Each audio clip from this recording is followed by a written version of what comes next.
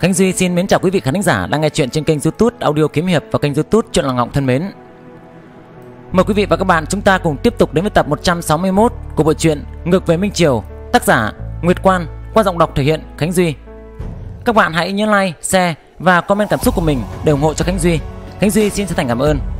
Và bây giờ, để không mất thời gian, mời quý vị và các bạn chúng ta cùng đến với tập 162 Ngược về Minh Triều ngay sau đây.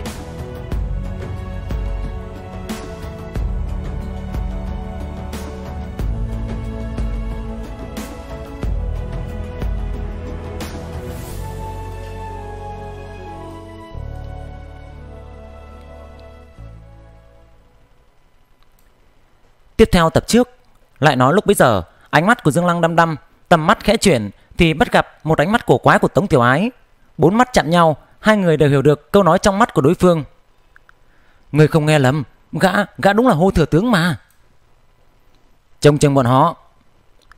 Câu này còn chưa nói ra khỏi miệng Lại thấy vị phong bắn tiên đó dường như hạ giọng Khiển trách hai người vài câu. Sau đó ba người cũng bước đi về phía bên này. Dương Lăng liền quay đầu lại liền đưa một vị công tử bột ra chậm rãi bước đi. Để họ bước về phía trước sau đó quay về phía tống tiểu ái. Tống tiểu ái hiểu ý đã nói nhỏ đại nhân yên tâm ta đã sai người đi theo rồi. Dương lăng lúc này mới chú ý tới hai người đàn ông nông dân đã theo sát phía sau phong bắn tiên không khỏi khẽ mỉm cười khen ngợi. Lưu đại bồng chùy gãy đầu kỳ lạ hạ thấp giọng mà nói ờ, quốc công gia bổn triều có thừa tướng hay không vậy? Có chứ. Dương Lăng chậm rãi nói Thời Thái Tổ thì có Nhưng từ sau khi Thừa tướng Hồ Duy Dung tạo phán Thì đã không còn nữa rồi. Thừa tướng bây giờ kỳ thực chính là đại học sĩ nội các Nhưng chức quyền dưới một người Mà trên vạn người Căn bản không thể sánh được. Đại Bổng Truy kinh ngạc và nói Vậy họ gọi thừa tướng là gì vậy? Liệu có phải người đó là thành tượng nữa hay không? Dương Lăng ngẩn người ra Điều này hắn cũng không ngờ. Liệu có phải mình đang chuyện bé xé ra to hay không? Người này họ Phong tên là Tiểu Mộc, tên hiệu là Bán Tiên, chẳng may tự của y là một người không có công danh, học qua trường tư học được vài chữ, dùng để xem bói lừa người là người chính, cũng có biểu tự hay sao?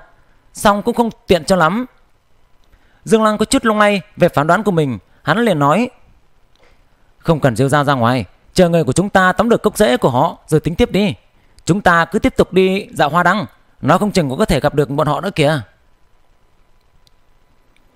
Lúc này, người đi ra vùng ngoại ô ngày càng nhiều. Bên trong thị trấn Thắng Phương, khắp nơi đều treo đèn sặc sỡ. Trong các nhà phú hộ, tranh nhau ganh đua, càng làm nổi bật hơn. Trong quảng trường trồng cây hoa, nhưng các nhà, các hộ treo đèn giải rác như vậy rốt cuộc cũng đã ảnh hưởng tới hiệu quả. Bên ngoài thị trấn Thắng Phương có dòng sông. Tới thời hiện đại đã khô cạn trở thành vùng đất hoang rồi. Nhưng thời đó lại thành hồ liên miên, cá tôm đầy huề. Mọi người treo đèn màu, băng đăng bên hồ lắc lư, còn có cả trò đố đèn nữa. Ngày rộng tháng dài qua đi, trở thành nổi tiếng, rất nhiều nơi giàu có, nhân sĩ cũng tới ngắm đèn vào ngày 15 tháng riêng, khiến cho lễ hội đèn hoa đăng của Thắng Phương càng ngày càng náo nhiệt. Tới vùng ngoại ô, trời cũng đã bắt đầu tối. Ở đây thắp đèn đuốc sáng trưng, đèn lồng đầy màu sắc với các thể loại khác nhau được treo đầy trên những thân cây khô. Tiếng trống từng trận, từng trận mà vang lên, cùng với tiếng nhạc du dương, réo rắt trên mặt đất còn có băng đăng từ dưới hồ nhô lên, tinh xảo đặc sắc, muôn màu muôn vẻ, giống như từng chùm pha lê. Nhà thủy tinh vậy, ngay cả Dương Lăng là người đã từng xem ở thời hiện đại cũng cảm thấy rất vui vẻ và thoải mái. Càng kinh ngạc nói người dân bình thường của những năm này cũng không có hoạt động giải trí nào cả. Bên bờ hồ lúc này giống như hội chùa náo nhiệt, phú thương thân hào còn dựng sân khấu kịch, ca hát rồi chơi đùa đèn lồng, biểu diễn ảo thuật náo nhiệt vô cùng. Dòng người thì hối hả, bọn trẻ con con nít vui đùa trong đám người du ngoạn, còn có không ít người mang theo mặt nạ cũng vui chơi thỏa thích ở trong đó. Tết Hoa Đăng được diễn ra trong 3 ngày 14, 15 và 16. Thông thường ngày 16 còn có đốt lửa, sau đó mới kết thúc tiết mục. Hôm nay là 15 tháng riêng. Chính là thời điểm náo nhiệt nhất. Trên các cây hòe khô, cao to treo đầy đèn lồng lớn nhỏ, biến thành cây hòe, cây hoa tuyệt đẹp ngẩng mặt lên nhìn cây qua ánh đèn lung linh tráng lệ mặt trăng tròn xoe như đĩa ngọc treo lơ lửng trên bầu trời giống như ánh trăng kia cũng được treo trên đầu cành cây vậy ba ngày này chính là ngày các cô nương của gia đình đại hộ cũng được giải cấm có thể đi ra khỏi khuê phòng hẹn hò với mấy hồng nhan chi giao, du ngoạn trên phố đèn. Hơn 20 gốc cây long chảo quý, trên cành cây treo đầy đèn hoa đăng. Từng cành dài vươn ra nối liền lại với nhau, tạo thành bức tường đèn khổng lồ, cực kỳ đồ sộ. Dưới tán cây là tiểu thương và người buôn bán hàng rong, bán đồ ăn, bán đồ chơi, đèn lồng, mặt nạ. Du khách chật chội, tiếng người huyên náo. Mọi người đều bừng bừng khí thế, chỉ lo thưởng thức cảnh đẹp, không ai chú ý tới bên cạnh mình có những người nào. Dương Lăng thấy một bóng người cao lớn và bên cạnh người đó là bóng dáng mảnh mai tương phản nhau, liền nhận ra chính là Triệu Phong Tử đã gặp ở đầu phố. Thấy y rất yêu thương vợ bởi vì sợ người ta đụng phải vợ mình, y đã dùng cánh tay trắng kiện của mình nắm lấy vai của phu nhân, cùng nàng mà ngắm đèn lồng. Ống tay áo buông xuống, đôi giày tinh xảo dưới ánh đèn lung linh đã hiện lên rõ như ban ngày vậy. Khó trách tướng công của nàng lại nâng đỡ như vậy, cô nương xinh đẹp này là đôi chân bó. Vào năm đó, quả thực phụ nữ bó chân cũng không có nhiều, rất nhiều người đẹp đều đủ chân, đặc biệt là khi đó hoàng gia chọn phi không cần chân nhỏ. Cho nên gia tộc cao quý phương Bắc càng ít thấy phụ nữ chân nhỏ. Thê thiếp của Dương Lăng cũng không có bó chân.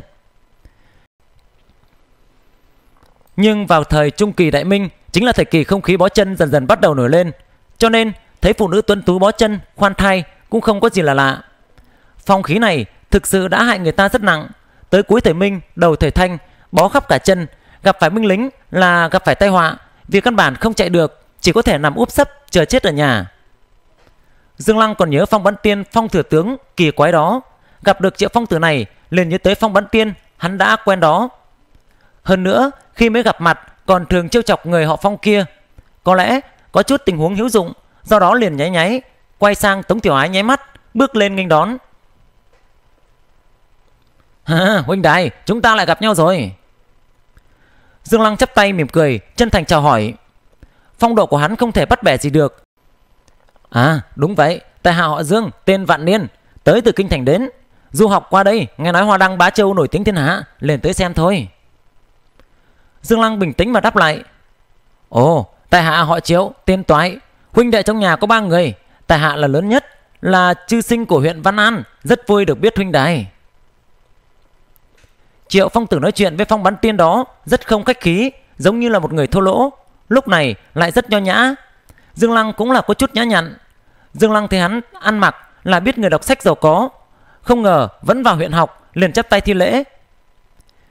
Chư sinh chính là tú tài vào huyện học, người đọc sách như vậy khá là có tiền đồ, giống như học sinh, mọi người đều quan trọng là ở trung học phải trúng tuyển, thi lấy công danh, khả năng nắm chắc rất là lớn.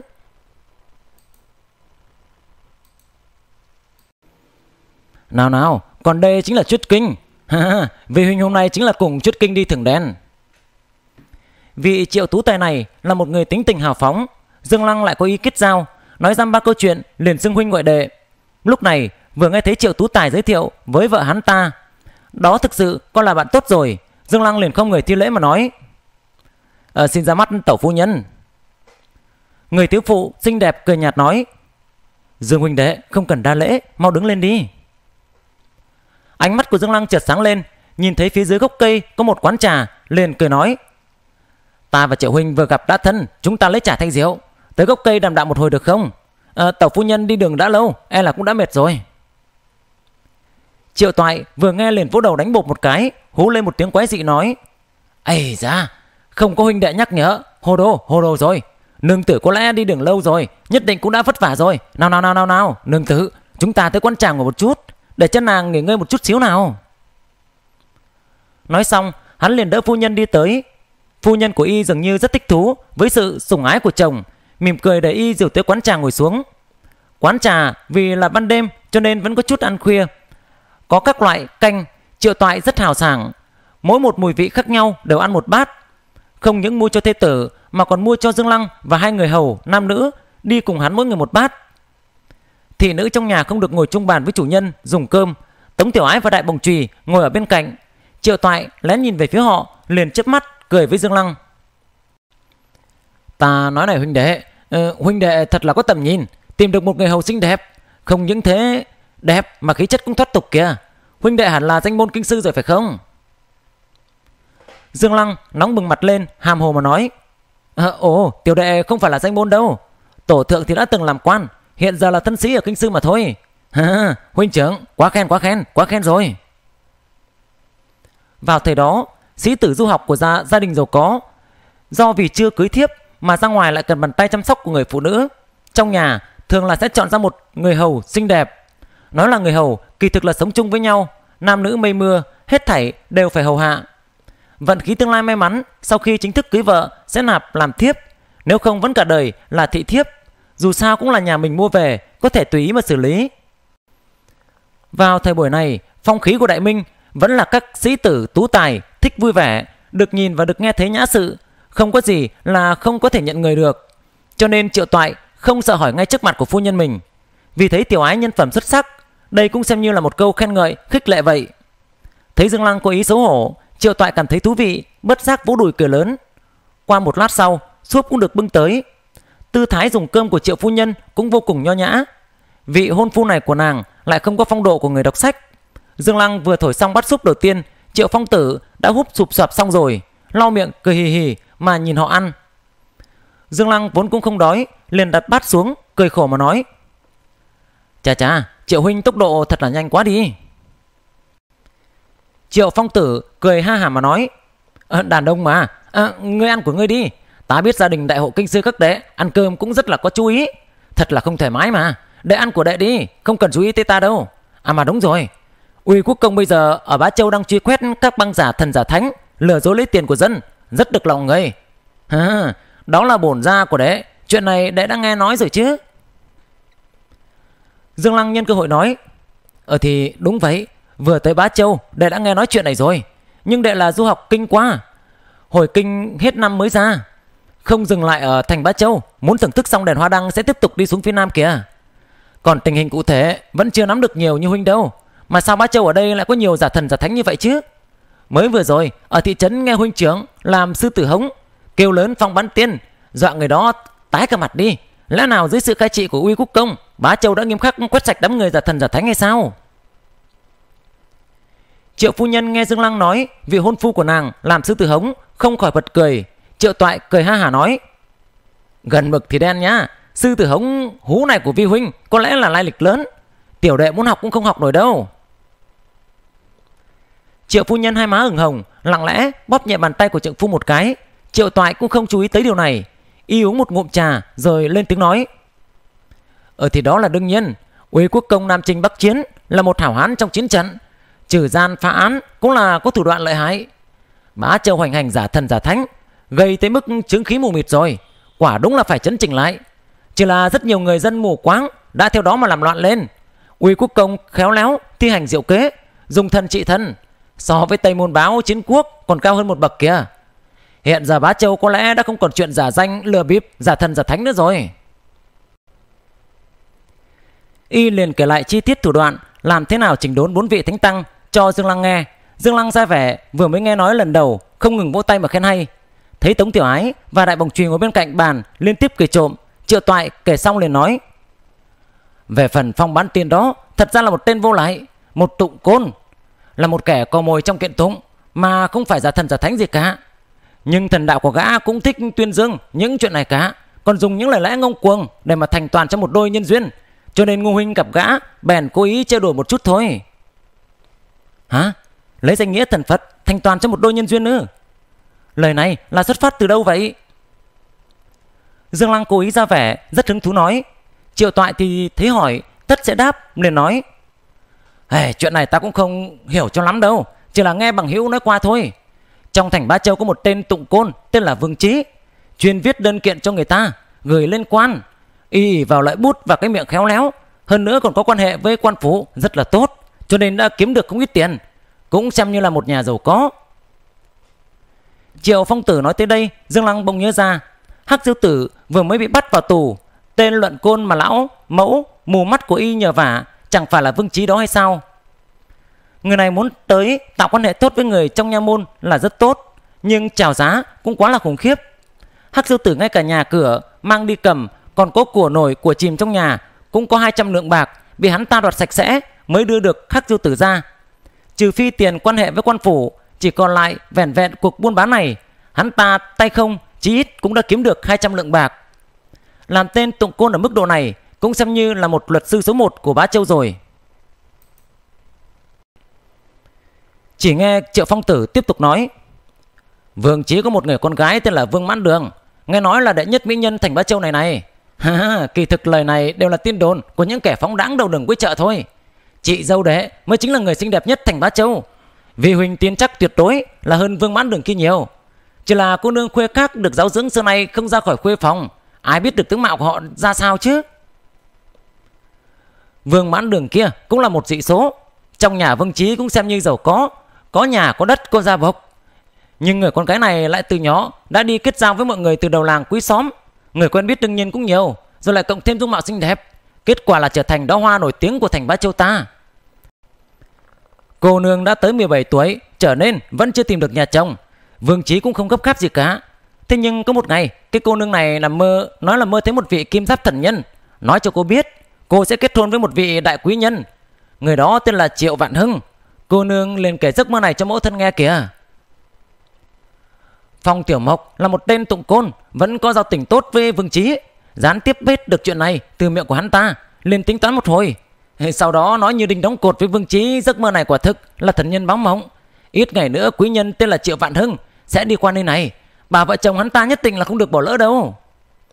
Vương Chí thế là bán tín bán nghi. Không ngờ hai ngày sau, quả thực là có một vị khách qua đường. Tới cửa xin nước uống.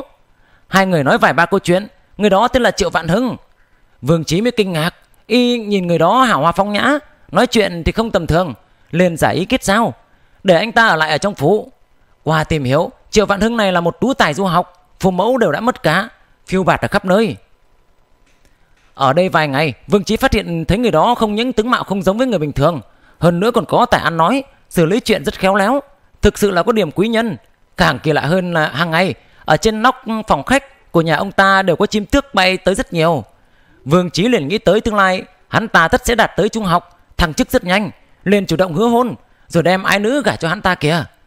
Chuyện này được truyền đi, một người bạn thân đã từng đề cập với ta, mà ta thì cũng đã từng nhờ phong tiểu mộc giúp mình kiện tụng một lần rồi. Cho nên lúc gặp đã trêu cho hắn ta một chút vậy thôi. Hả? Lại còn có chuyện lạ như vậy sao? Vậy vì quý nhân mà Vương Cô Nương cả cho bây giờ ở đâu rồi? Đã thăng chức nhanh chưa vậy? Triệu toại nghe xong liền bật cười mà nói Nào có Từ sau khi Vương Cô Nương hứa gả cho người ta kìa Lên theo tướng công chuyển ra khỏi Vương gia rồi.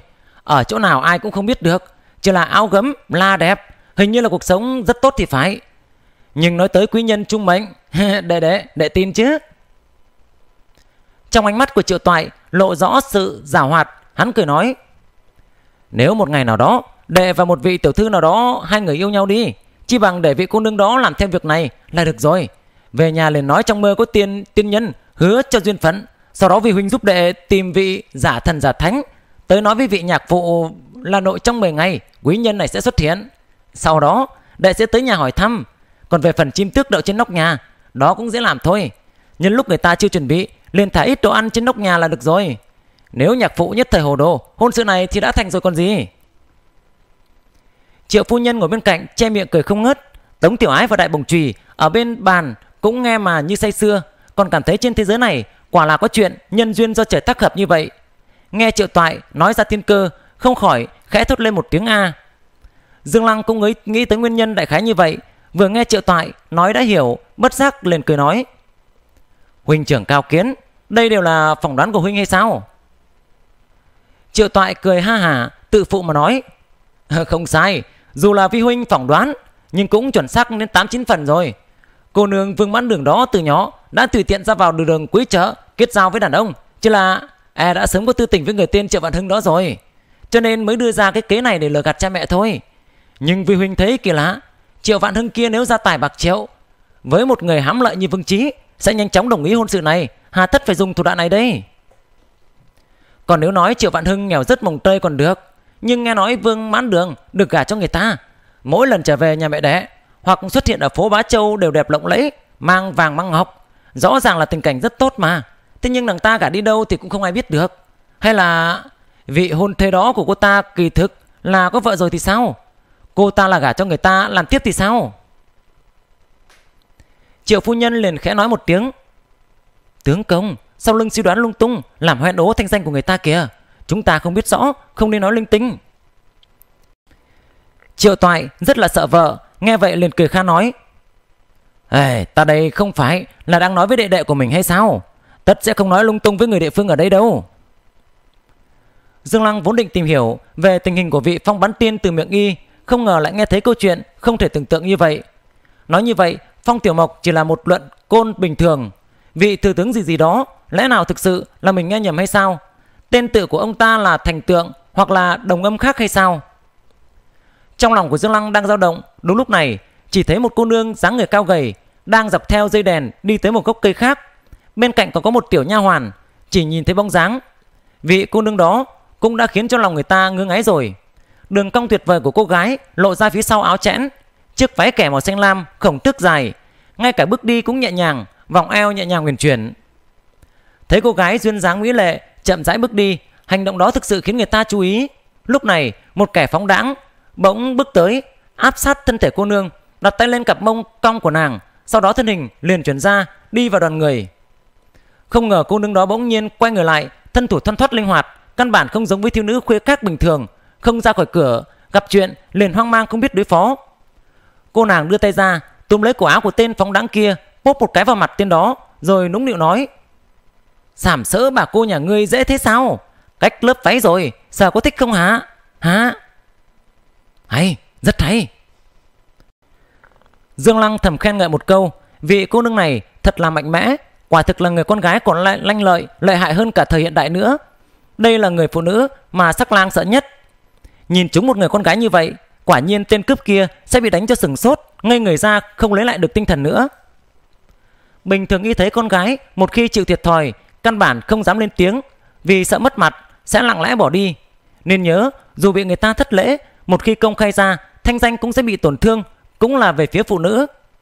Cô nương này sao lại dám công khai như vậy đây? Lúc này, cô nương đã nghiêng mặt qua, dưới ánh đèn nhìn người đẹp càng đẹp hơn mấy lần, huống hồ bây giờ còn có đèn, có trăng. Hơn nữa, nhiều màu sắc sặc sỡ, bản thân cô nương này tướng mạo, cơ thể cũng đẹp vô cùng. Dung mạo xinh đẹp đó khiến người ta vừa nhìn là đã động lòng rồi. Cô nương này bị người ta thất lễ, liền hung hăng tát cho tên háo sắc kia một bạt tay, hẳn là rất tức giận mới phải. Nhưng lúc này nhìn về mặt cô ta lại tươi cười, không có chút tức giận nào cả. Ngược lại giống như gặp được tình nhân cũ, cười rất quyến rũ, vẻ mặt vui vẻ, nụ cười quyến rũ lòng người. Hai mắt của cô gái là mắt đào hoa điển hình, nước mắt ang ang, đôi môi đầy đặn, quyến rũ lòng người. Nếu nói tới ngũ quan của cô, dáng người cũng không phải là đẹp, nhưng cũng kém nương tử triệu gia vài phần mà thôi. Có sự khác biệt đó là cô là vẻ đẹp hoang dã, là một người phụ nữ gợi cảm, khiến cho người ta gặp là đã muốn lên giường chinh phục rồi. Nếu nói nương tử của triệu gia đẹp như một nước hồ xuân, thì cô chính là một đống lửa mãnh liệt, phong tình hoàn toàn khác biệt. Cô nương này ăn mặc chẳng lẽ là một kỹ nữ trong giáo phường hay sao? Làm gì có người con gái đứng đắn nào lại bị người ta sờ soạng mà còn dám đường hoàng mắng nhức như vậy đây? Lá gan của ngươi quả thực không nhỏ đâu. Đại cô nương cười nói, dám đùa bỡn phụ nữ con gái nhà lành ở ngoài phố hay sao? Kẻ phóng đáng kia đã bừng tỉnh lại rồi, vẻ kinh sợ bị người ta tắt tay một cái, cũng vì cô nương có sắc đẹp tuyệt trần và nụ cười quyến rũ mà biến mất đi. Cô nương à, đây là ngày nguyên tiêu, là ngày 15 tháng riêng đấy. Không cẩn thận lên đã sát vào cô một chút, cô lại tắt ta một cái. Còn muốn thế nào nữa đây? cô nương là con gái nhà lành sao? Đừng cứ gây chuyện nữa đi. Là cô nương trong viện nào vậy? À, ra trở về nhất định sẽ tới thăm hỏi chuyện làm ăn của ngươi, khiến cho ngươi sống dở chết dở kìa. Bởi vì sự mạnh dạn của cô nương và phong tình của cô gái lẳng lơ đó thực sự không giống với một cô nương con nhà đứng đắn. Người này lầm tưởng cô là kỹ nữ thanh lâu cũng đã yên tâm hơn, cũng không lo người dân xung quanh tới xem náo nhiệt, ngược lại còn ngang nhiên nảy sinh tình ý với cô. Chứng kiến chuyện không phải là chuyện lớn gì, Dương Lăng cũng không khỏi mỉm cười. Hắn bỗng nhớ lại lúc ban đầu ở địa phủ cố ý chọc giận vị thôi phán quan kia, nói tới giấc mộng lớn của mình. Khi không có chuyện gì thì hắn cũng dẫn vài tên cẩu nô tài đùa dẫn mấy người con gái nhà lành như vậy. Bây giờ thấy cảnh này, sau khi xác thực mình không chết, trong đêm hoa đăng như mộng này, kiều thê thiếp đẹp hôm nay Thời điểm ân ái, bỗng nhớ lại chuyện này, bừng tỉnh giấc mơ kiếp trước. Dương Lăng không khỏi mỉm cười ở trong lòng. Ngày xưa Phật tổ Niêm Hoa, ca diếp mỉm cười, nhìn chung cũng là tâm cảnh thản nhiên, kỳ diệu, khó có mà diễn tả được. Khốn kiếp mà. Dương Lăng đang phiêu diêu trong tưởng tượng, tiểu nha hoàn bên cạnh người phụ nữ đó đã tức giận nói, trừng mắt tức giận mà lên tiếng. Ngươi mỏng căn báo hay sao? Dám đánh ra nương, phu, phu, phu, phu nhân nhà ta. Còn nói năng lỗ mãng như vậy. Trần Phong, đơn hùng, dạy dỗ hắn ta đi. Hóa ra cô gái này vốn không chỉ dẫn theo một nha hoàn. Trong đám người liền bước ra ba người, hình như là vừa mới đuổi kịp tới. Vừa nghe tiểu nha hoàn nói như vậy, liền xông lên. Không ngờ kẻ phóng đáng đó, dù là lãng tử không may đùa bỡn, dù sao không phải là một tiểu tử nghèo, không một xu dính túi. Không những dẫn theo một người hầu, hơn nữa còn có một đám bạn chó má cùng du ngoạn ở phố đèn. Lúc này cũng đã bao quanh, vừa thấy bạn mình bị thiệt thòi, liền xông lên nghênh tiếp với dáng vẻ lưu manh. Sao? Thế nào? Muốn đánh nhau sao? Được thôi, chúng ta theo vậy. Các người có bao nhiêu người? Tất cả lên hết đi. Kẻ phóng đáng đó vừa thấy bạn bè đã xuất hiện cũng càng mạnh dạn hơn.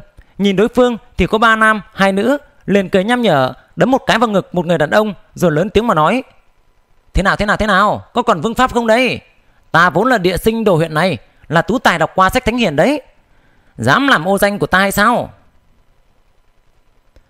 Hai người đàn ông xông lên trước mặt, thân hình khá là săn chắc, nhưng xem ra chỉ là người thật thà, căn bản không có dáng vẻ đánh nhau, mặt đỏ bừng lên nhìn về phía mỹ nữ cao gầy đó, lại không dám đánh trả người ta. Triệu Toại vừa thấy kẻ phóng đáng đó vẫn còn muốn ỉ thế hiếp người, không khỏi đập bàn một cái, tức giận mà nói: "Hừm, ban ngày ban mắt dám ức kiếp người, thật là nhục nhã người đọc sách mà." Hắn lấy một chiếc kẹp từ trong vạt áo ra, nhìn bộ dạng của y là muốn xông ra, Triệu phu nhân biết trượng phu lực lớn vô cùng, sợ lỗ mãng mà đánh gây thương người ta. Đang lúc muốn đứng dậy căn ngăn, Dương Lăng đã đón ở phía trước nói. Triệu huynh, Triệu huynh, khoan đã nào. Xem thêm lúc nữa, hai bên vẫn chưa đánh nhau mà. Triệu toại nghe xong mới ngậm tức ngồi xuống. Hóa ra ba người được nha hoàn đó gọi ra, có hai người xông lên phía trước, người còn lại chỉ là đứng cách người dân xem náo nhiệt có hai bước, nhìn cũng không rõ ràng. Nếu bỗng nhiên nhìn thấy còn cho rằng y là tới xem náo nhiệt, Dương Lăng mắt tinh thấy người thứ ba này chính là Phong Bắn Tiên, liền ngăn Triệu Phong Tử lại, muốn xem xem người này có gì khả nghi hay không. Mỹ nữ cao gầy đó tức quá mà bật cười nói: "Ngươi, cái tiền làng sói này dám động tới ta, vu cáo ngược lại ta làm nhục thanh danh của ngươi sao? Thật không biết xấu hổ, đánh cho ta." Bảy tám người đối diện không phải là tú tài mà là người hầu. Tú tài lại đều là thân hình yếu ớt, Tú tài giống như triệu toại là cực phẩm vạn dặm, tìm thấy nay không còn một ai. Hai người đàn ông to khỏe bên cạnh cô nương vừa nhìn là biết người đàn ông tráng kiện, thực sự ra tay sẽ không bị thua thiệt gì. Nhưng hai người này lại có vẻ mặt chất phác, mờ mịt không biết làm sao. Vừa nhìn là biết chính là những người thành thật từ nhỏ đến lớn, chưa đánh nhau bao giờ. Đám tú tài đó thấy tình cảnh này trong lòng không chút sợ hãi, kiêu ngạo chạy ra đón đỡ, Mỹ nữ cao giáo đã nói hai lần dạy dỗ bọn chúng cho ta. Hai người đàn ông cường tráng mới miễn cưỡng ra tay mà chống lại. Chỉ dám xô đẩy cũng không dám đánh người, bị mấy tên tú tài đánh cho lui về phía sau. Triệu Toại tính nóng như lửa, thấy tình hình này lại muốn nhảy ra trợ chiến. Nhà hoàn đó lại bực tức tức giận mà quát lên. Thật là một đôi rác dưới, như vậy còn còn mơ tưởng có một ngày làm thống lĩnh thị vệ, ngựa tiền thân quân hay sao? Một câu không đầu không đuôi, Dương Lăng và Tống Tiểu Ái, đại bồng chùy nghe xong, liền như nhảy dựng lên. Một câu nói không đầu không đuôi như vậy, đám dân chúng nghe được, dù cảm thấy cổ quái, nhưng lại không nảy sinh ra được cảnh tượng phong phú quá ly kỳ nào cả. Trên đời này vốn không có chức quan ngự tiền thân quân thị vệ thống lĩnh đó, hoàn toàn là vị trí quan nhân Dương Lăng tự nghĩ ra để an bài thỏa đáng bên cạnh đương kim hoàng thượng. Mình chỉ dựa vào chức quan hư cấu, thế nhưng quan chức này giờ thiên hạ lại đều biết cả. Cho nên khi nghe câu nói không đầu không cuối của tiểu nha hoàn đó, mọi người nhiều lắm thì cho rằng đây là Gia Nô rất trung hậu, khả năng có chí đầu quân, tương lai sẽ kiến công lập nghiệp, có thể nên làm uy quốc công. Hiện giờ biểu hiện vô năng như vậy cho thấy tiểu nha hoàn này đang nói châm chọc. Nhưng đối với ba người Dương Lăng mà nói, cảm giác tuyệt đối khác nhau. Khi tới thị trấn nghe được một câu thừa tướng Bây giờ lại có hai ngự tiền thân quân thị vệ thống lĩnh Sâu chuỗi hai câu kỳ lạ này lại với nhau Kẻ ngu ngốc cũng biết chắc chắn là có vấn đề rồi Đúng lúc này một người cười vang mà nói À à à à à à à hướng thật lớn Cho rằng ngự tiền thân quân thị vệ thống lĩnh Con chó con mèo gì gì đó Cũng đều có thể làm hay sao Hai tên ẻo là này nếu có một ngày có thể lăn lộn tới chức quan lớn như Giang Du Kích ta đây thì mộ tổ tiên bốc khói xanh rồi. Cùng với giọng nói đó, có một người đưa hai cánh tay ra, tựa như không có lực nhưng lại đẩy mọi người ra giống như chú mèo lười biếng, bước đi thong thả tiến vào. Lời nói của y ngả ngớn, thần thái càng ngả ngớn, khóe mắt ngả ngớn cười nói: Người này mặc quân trang, nhìn tuổi tác cũng không khoảng 20 tuổi, dáng người to lớn, ngũ quan anh tuấn, kết hợp với nụ cười xấu xa, không những không làm cho người ta ngại mà ngược lại còn toát lên phong thái thú vị. Nếu một người đàn ông cường tráng như vậy, anh tú như vậy, dùng nụ cười xấu xa như vậy, nhìn chằm chằm vào một cô nương, thiếu phụ, cũng đủ khiến cho cơ thể người ta mềm nhũn ra rồi. Nóng mặt, tim đập mơ tưởng bậy bạ. Người này hung hăng nhìn chằm chằm vào bộ ngực nhô cao đầy đặn của người thiếu phụ kia, sau đó quay mặt về phía những tú tài, cười đầy tài ý. Một đống văn nhân vô lương, ức kiếp phụ nữ, bổn tướng quân sẽ bảo vệ người đẹp. Có biết cái gì gọi là tú tài gặp binh chưa? binh chính là tại hạ bất tài ta đây. Tú tài còn thực sự không sợ gặp lính. Một tú tài còn có địa vị cao hơn địa vị của binh lính rất nhiều. Trừ phi là loạn thế, lính phỉ khó phân. Lúc đó là ngoại lệ. Nhưng người lính này lại khác. Nghe khẩu khí của hắn ta, đó là một vị du kích tướng quân, địa vị có thể còn cao hơn tú tài rất nhiều. Mấy tên văn nhân vô lương lập tức co rúm người lại. Dương Lăng ngạc nhiên nhìn người tướng quân xuất hiện đột ngột này, thất thanh mà nói: "Là Giang Bân sao? Sao hắn ta lại tới đây vậy?" Triệu Phong Tử nghe thấy hắn nói như vậy, liền hỏi: ờ, "Cái gì vậy? Hiền đệ biết vị tướng quân này sao?" "À à." Dương Lăng định thần lại, hắn nói: à, "Đúng vậy, người này là một người bạn cũ của ta thôi." Nói tới đây, hắn không thể không bước lên phía trước, liền nói với Triệu Phong Tử: "Triệu huynh, đệ đi gặp hắn ta vậy." Mấy tên tú tài lúc này đã bị du kích tướng quân Giang Bân hù cho một trận bỏ đi rồi. Dù sao tú tài gặp quan huyện cũng không cần phải quỳ xuống đất. Mặc dù Giang Bân nói lợi hại cũng không muốn vì chút chuyện nhỏ sở mông phụ nữ này mà thực sự làm hỏng cuộc sống của người ta được. Dù sao đã bị lộ mặt trước mặt người đẹp rồi, liền lớn tiếng cười nhạo vài câu. Đại nhân đại lượng tha cho bọn họ. Hắn ta quay đầu lại lướt nhìn người phụ nữ đó, vừa thấy cặp mắt hoa đào, khuôn mặt kiều diễm, thần kỳ của nàng đã lập tức hồn siêu phách lạc. Ánh hào quang chật lóe trên đôi mắt, không khỏi bày ra bộ dạng chư ca, xoáy ca mê đắm lòng người. Hắn dịu dàng nói: à, "Cô nương, ừ, khi tưởng hoa đăng đám phong đáng là nhiều nhất đấy, ừ, cô phải cẩn thận mới được." Phẩm chất của Giang Bân xuất chúng, người con gái xinh đẹp đó nhìn vào hai mắt của hắn ta, trên mặt nở nụ cười quyến rũ, nhẹ nhàng vén áo thi lễ mà nói: "Đa tạ tướng quân đã ra tay giúp đỡ, không biết tôn tính quý danh của tướng quân là gì?" Giang Bân liền chắp tay trước ngực thi lễ, nhã nhặn mà nói: à, "Tại hạ Giang Bân mới nhậm chức du kích tướng quân Bá Châu. Trên đường đi nhậm chức nghe nói hoa đăng thắng phương rất đẹp, cho nên mộ danh mà đến. Gặp được cô nương, à, không biết cô nương là..." Cô gái đó nghe nói thật sự là một vị du kích tướng quân, ánh mắt không khỏi có tia kỳ lạ, miệng cười ngọt ngào, xấu hổ cúi đầu mà nói: "Dân phụ Vương Mãn Đường, vợ của Triệu Vạn Hưng Bá Châu." Dưới ánh đèn, người đẹp cúi đầu xấu hổ, mỉm cười, đôi mắt hoa đào, áng áng nước, lại mang chút quyến rũ. Ánh mắt từ ngực của người ta trượt lên, thu hút ánh mắt của hắn ta, đảo đảo mấy vòng. Giang Bân chưa gặp qua thủ đoạn tán tỉnh kiểu này, bỗng người nhẹ bẫng, hồn siêu phách lạc, gót chân muốn động đậy. Người phụ nữ quyến rũ như vậy, trong lòng của Giang Bân cảm thấy ngưng ái khó chịu. Phong tình này có lẽ còn mạnh hơn gấp trăm nghìn lần so với kỹ nữ. Còn mẹ nó chứ, Ánh mắt quyến rũ khiến người ta thấy hận mà không thể lao tới đè nàng ta xuống mà giày vò mà đâm xuyên đâm ngược kìa. Đã là dân phố tức là trượng phu là người dân thường, chưa có công danh. Bà nội nó chứ, tên nào mà tốt phúc như vậy. Thế nhưng dù sao, nàng cũng là người bá châu. Nhìn cái dáng vẻ này lại không giống một người thủ tiết. Nói không chừng... Nghĩ đến đây, Giang Bân nở nụ cười cuốn hút, bắt đầu lân la mà nói. À, hóa ra cũng là người bá châu, Hôm nay gặp nhau cũng là duyên phận. Kẻ phóng đãng ở đây rất nhiều. Ô, phu nhân có cần một quan cùng đi thưởng đèn hay không?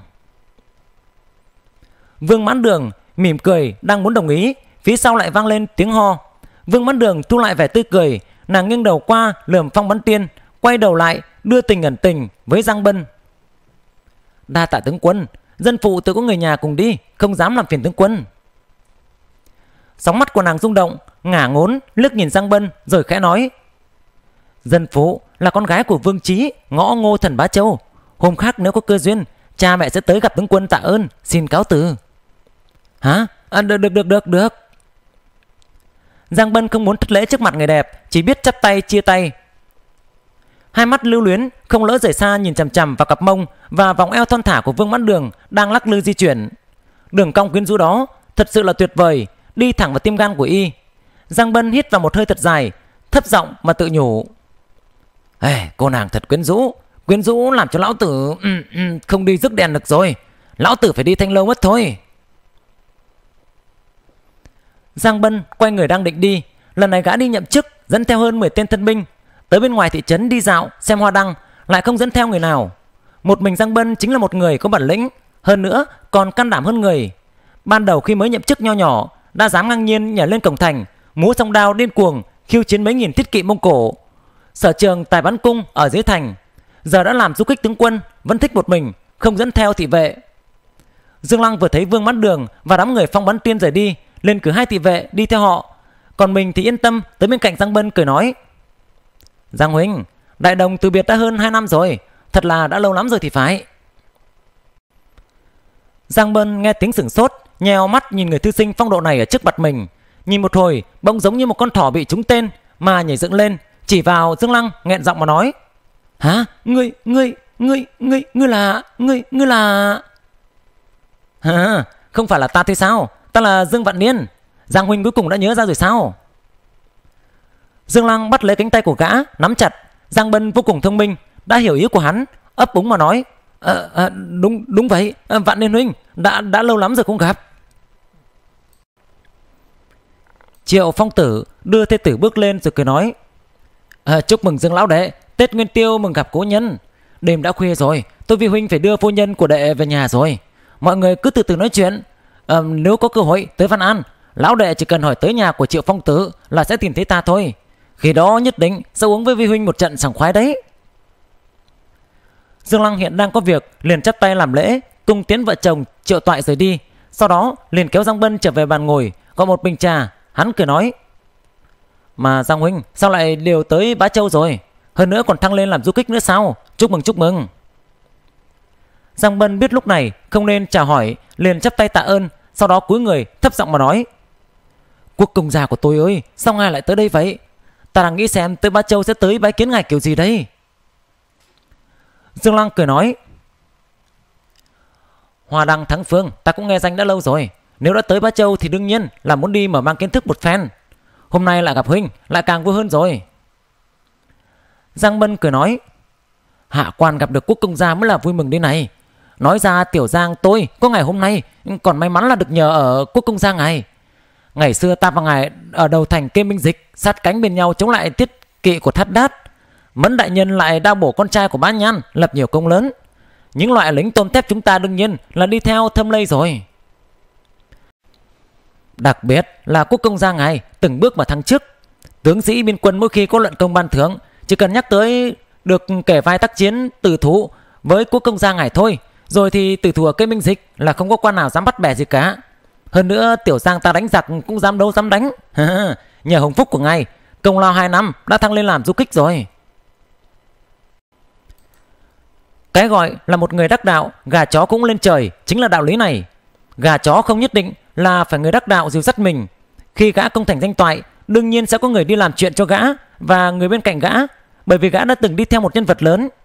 Quan trưởng thăng chức không ai dám làm khó, Ai biết được người có môn đạo gì sau lưng Liệu có đem cáo trạng lên trời hay không đây Cho nên nói Người đã tới đại thế Tự nhiên có nhiều người tới bên cạnh gã Bởi vì lợi ích của những người này Hoặc sáng hoặc tối Đều theo nhân vật này Vui buồn cùng với nhau Hắn còn đường làm quan của mình thuận lợi Hắn đổ cũng còn cách xa hơn 800 cấp Chẳng liên quan gì tới nhân vật lớn này Giống như đối tượng bị thanh toán Quan hệ như vậy mà sinh ra Dương Lăng tự biết mấu chốt ở trong đó nhưng Giang Bân chính là một mạnh tướng, không dựa vào quan hệ của mình, theo lý cũng nên thăng chức rồi. Hôm nay thấy gã thăng chức, Dương Lăng cũng thầm vui mừng cho gã. Giang Bân tự cho mình vì dưới chứng của Dương Lăng mà thành thật nói. Đại nhân ngài cũng biết, biên quan sớm đã lạnh lắm rồi, cho nên hạ quan muốn điều đi. Đúng lúc đại phú thân Bá Châu Trương Mậu, đó cũng là anh em họ của ta, ta liền nhờ y hoạt động một chút nên được điều tới Bá Châu này. Dương Lăng lúc này mới biết ngọn nguồn. Hai người nói chuyện một hồi, biết Giang Bân cũng thuê nhà trong thị trấn. Hai người vừa đi đường vừa nói chuyện với nhau. Trở về thị trấn, gọi chủ nhà làm mấy món ăn, canh và mấy bình rượu ngon. Hai người cùng ăn uống với nhau. Cố nhiên gặp lại, tán gẫu thật là hợp ý. Không biết đã trải qua bao lâu, một người cử đi theo sát Vương Mã Đường và Phong Bắn Tiên quay trở về, lặng lẽ ghé sát tay Dương Lăng bẩm báo một hồi. Dương Lăng nghe xong hai mắt trận trừng như trung đồng, thị vệ đó bẩm báo xong rồi, hai mắt Dương Lăng vẫn đăm đăm, một lúc sau vẫn không nói lời nào.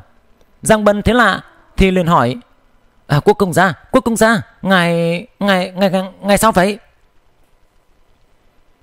Hai mắt của Dương Lăng như mơ màng ngẩng lên, chừng chừng nhìn hồi lâu mới trở lại bình thường.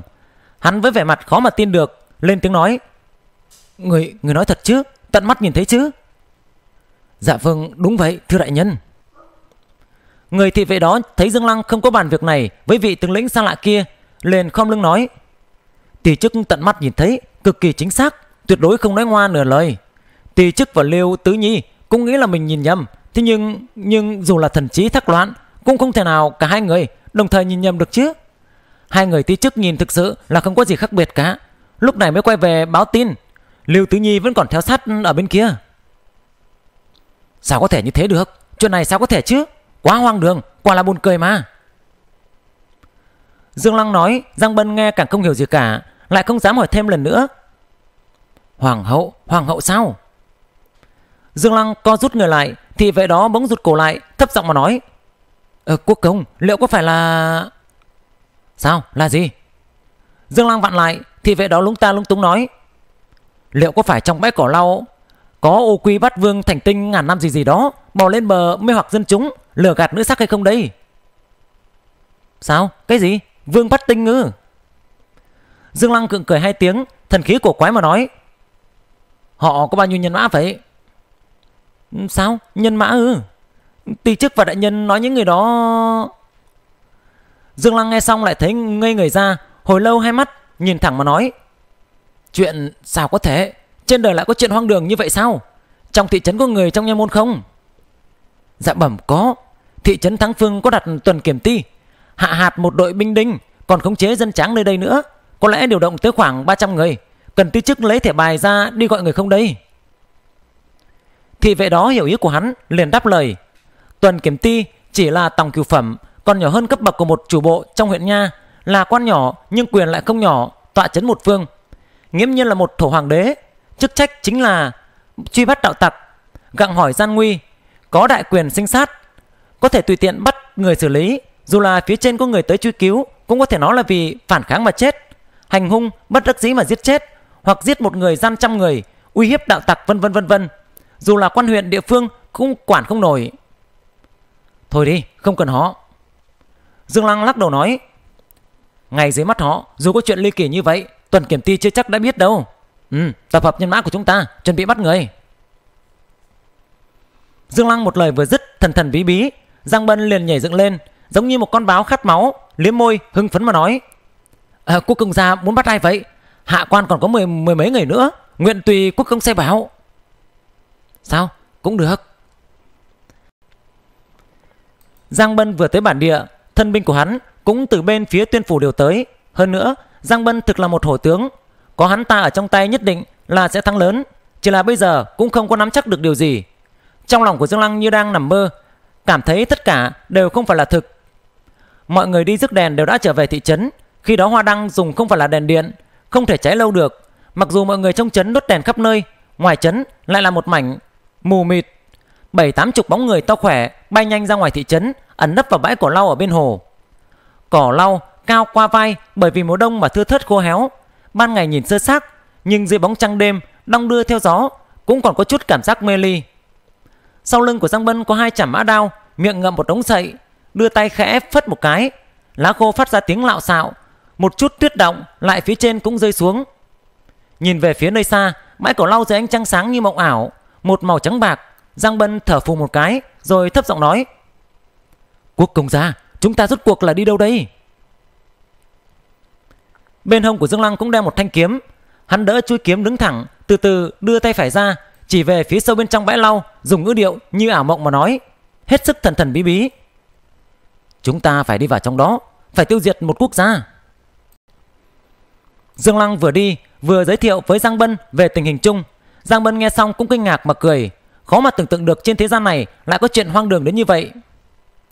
Khi Giang Bân ở Kinh Thành đã nghe nói Giang Nam có một nông thôn, một nông phụ tự lập làm đế. Phong hậu, phong thần bởi vì giao thông ách tắc mãi cho tới 10 năm sau thông tin mới được tiết lộ ra ngoài. May mắn những tên khốn nạn không sợ chết này gặp phải một vị nhân chủ Hoàng trị hoàng đế nghe được chỉ là một chuyện cười Còn đám cận thần lưu kiện tạ thiên nói cười một trận Nói ân chỉ miễn xá cho bọn họ Mới không có gây thành thảm kịch tàn sát cả thôn Mặc dù Dương Lăng đã nghe qua chuyện hoang đường này Nhưng trong lòng vẫn luôn nghĩ rằng Những người dân mu muội không biết đó Mới có khả năng làm ra những chuyện hoang đường như vậy Phụ thân của Vương Mãn Đường, Vương Trí Là tụng côn nổi tiếng của Bá Châu. Cô ta lại từ khi còn nhỏ Đã lang thang phố xá, kiến thức rộng rãi Sao cũng lại làm ra chuyện ngu ngốc như vậy được đây.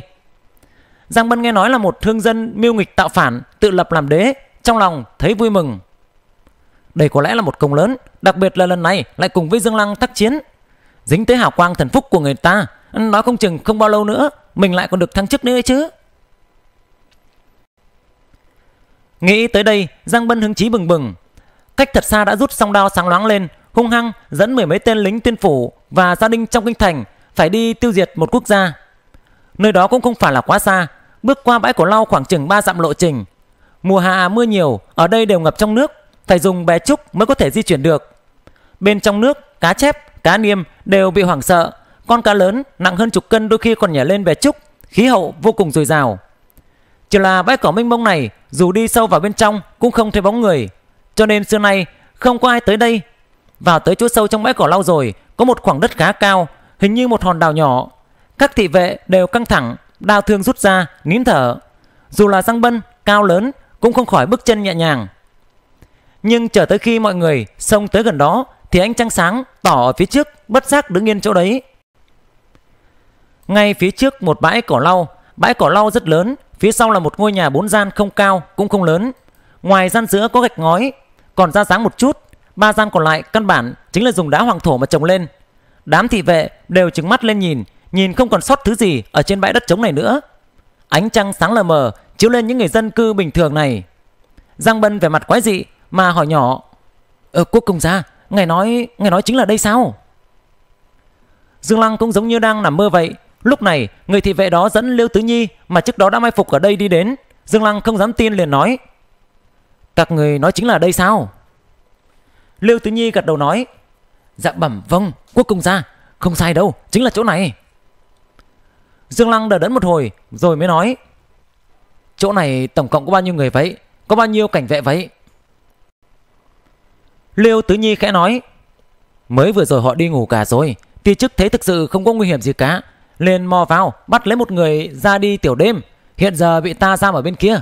Sau khi ti chức tra vấn ừ, Nước này gọi là Đại Thuận Quốc, Niên hiệu là Bình Định. Hiện giờ là Bình Định năm thứ hai. Trong nước có hoàng hậu, Có tả hữu thừa tướng, Có văn võ đại thần. Dương Lăng kiên định nói, Vậy bây giờ bên trong có bao nhiêu người?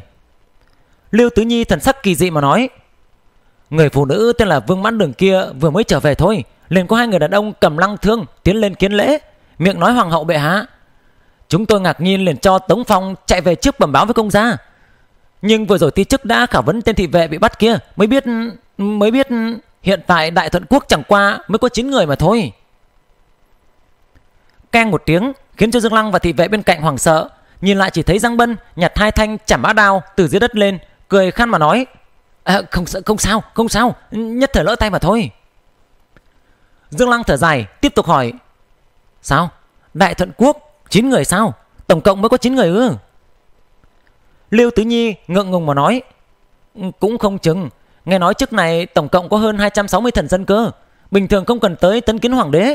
Hiện giờ trong hoàng cung là hoàng đế, Hoàng hậu và tả thừa tướng, Phong Tiểu Mộc. Ngoài ra còn có một tiểu nha hoàn năm thị vệ.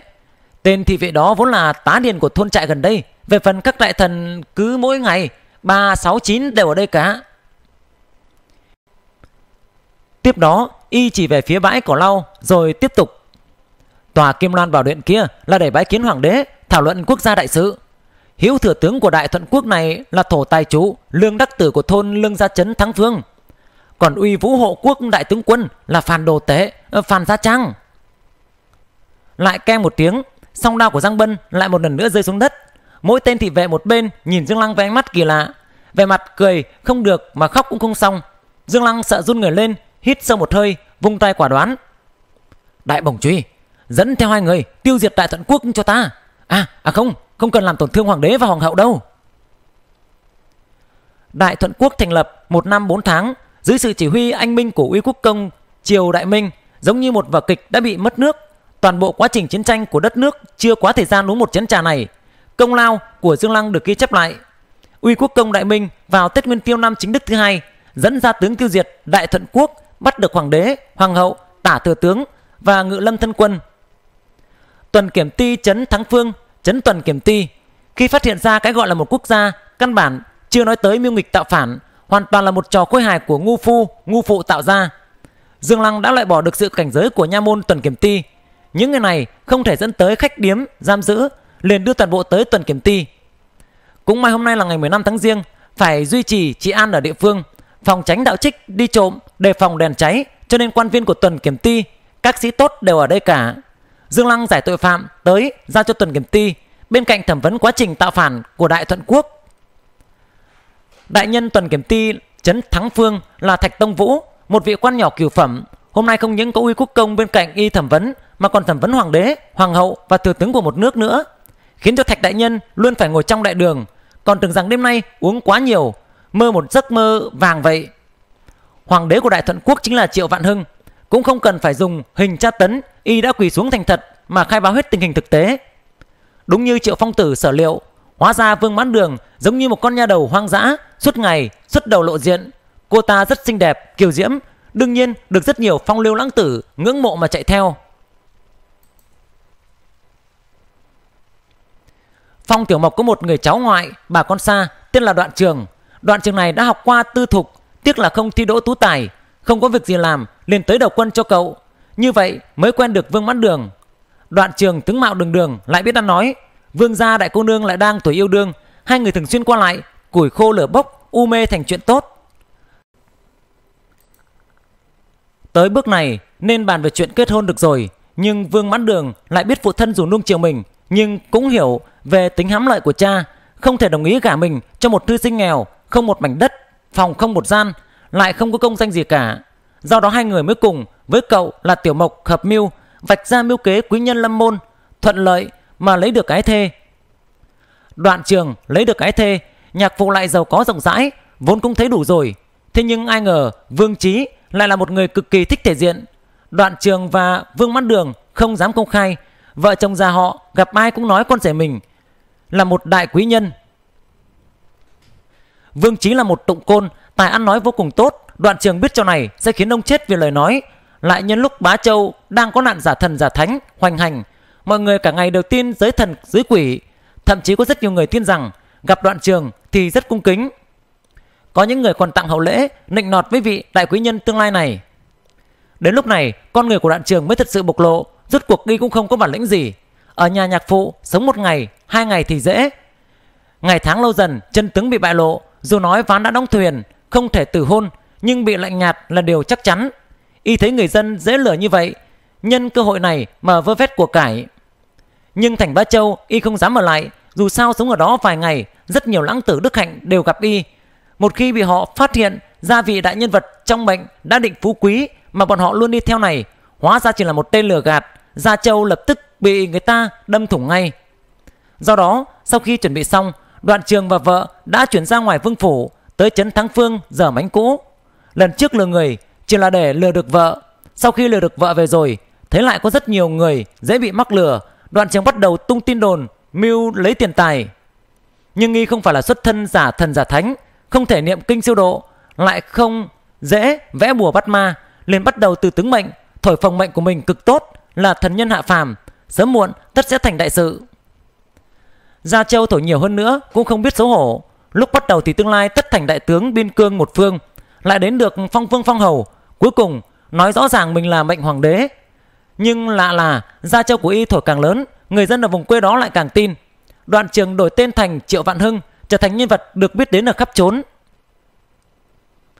Mọi người đều muốn dính một chút ánh hào quang của quý nhân, tương lai quý nhân sẽ được thiên hạ, mình cũng có thể làm được một chức quan gì gì đấy.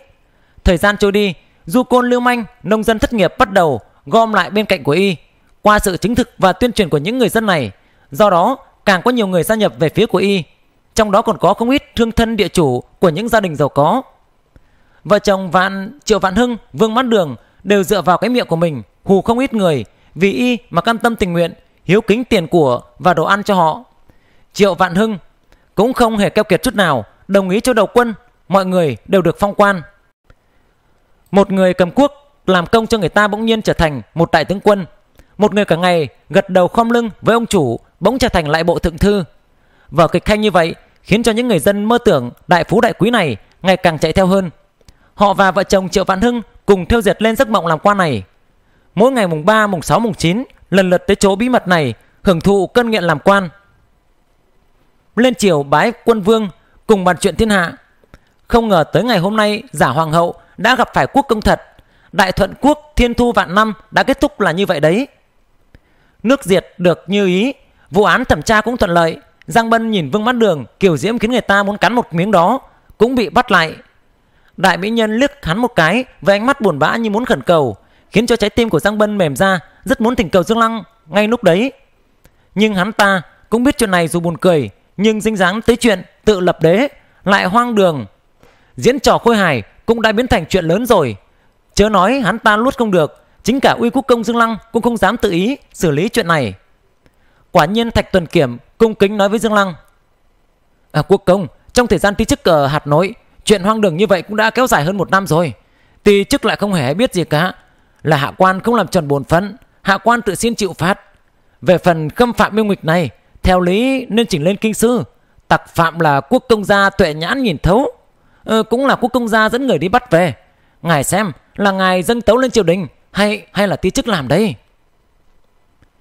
Dương lang suy nghĩ một hồi, ngồi xuống rồi nói.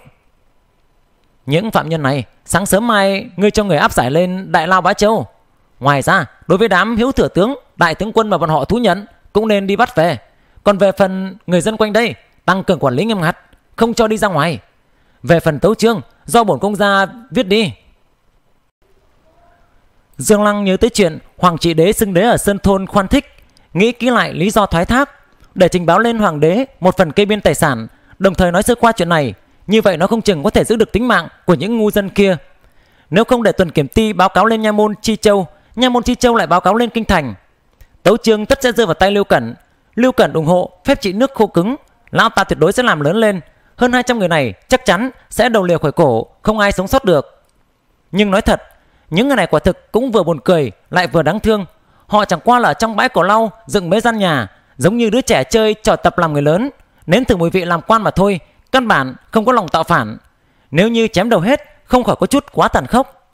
Dương Lăng thở dài nói: "Ừ, ta thấy về phần tội ngươi không làm tròn bổn phận thì vẫn phải có, nhưng những người này không làm điều gì sằng bậy cả, cần có mức độ chi phí cần thiết, xử trí thỏa đáng." Tất cả đều là những người dân Quê mùa cá. Họ đang nằm mơ làm quan mà thôi. Người ngoài thực khó mà phát giác ra được. Huống hồ Họ ở trong bãi cổ lau dựng mấy gian phòng. Dù người của tuần kiểm ti ngươi có gặp Đoán được đó là hoàng cung mới là lạ kìa. Ngươi không cần phải tự trách mình đâu. Chi phủ đại nhân ở đây Bổn quốc công ở đây Sẽ nói tốt cho ngươi thôi.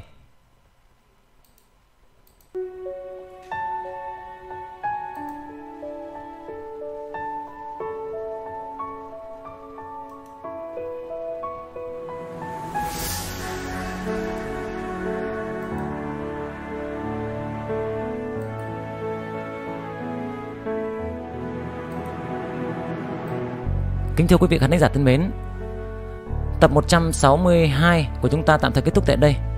Chúc quý vị nghe chuyện vui vẻ. Xin chào và hẹn gặp lại.